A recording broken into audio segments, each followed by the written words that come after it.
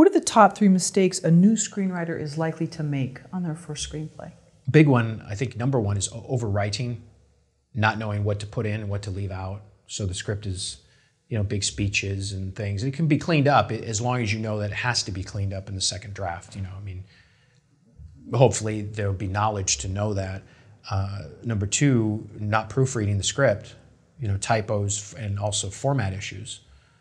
Um, which maybe format would be the third thing, you know, separate those typos.